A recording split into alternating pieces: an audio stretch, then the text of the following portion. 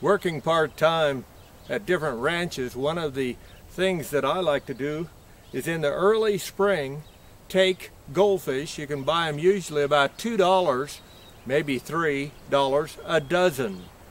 2 to $3 a dozen. You put them in the stock tanks. And of course, the stock tanks that are going to be used the entire year so that when you have them in there like that, by the end of the year, September, October of this uh, coming after the summer, you bet. Instead of having little bitty two inch goldfish, you're going to have four to five inch goldfish.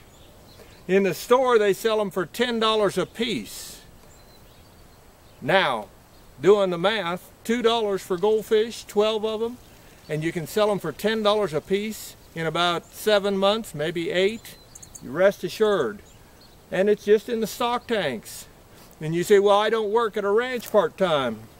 Well, I bet you or your children would be more than welcome at most ranches or even feedlots to put your little goldfish in there. And with any luck at all, you're going to have some good-sized goldfish by the end of the year. And that is some real cash. And this isn't pie in the sky. This isn't a lottery ticket.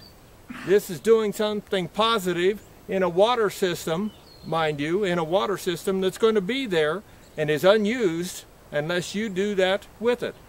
That's an extra $120 in your pocket.